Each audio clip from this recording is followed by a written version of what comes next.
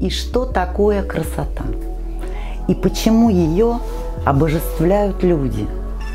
Сосуд, она в котором пустота, или огонь, мерцающий в сосуде.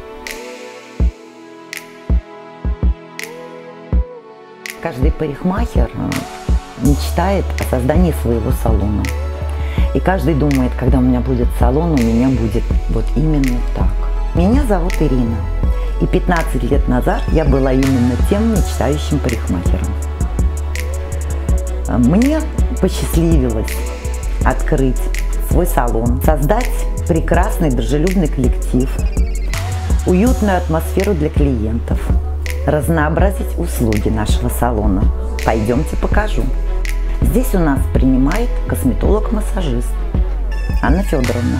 В соседнем кабинете у нас работает мастер ногтевого сервиса Анастасия. Парикмахерский зал представлен ветеранами труда.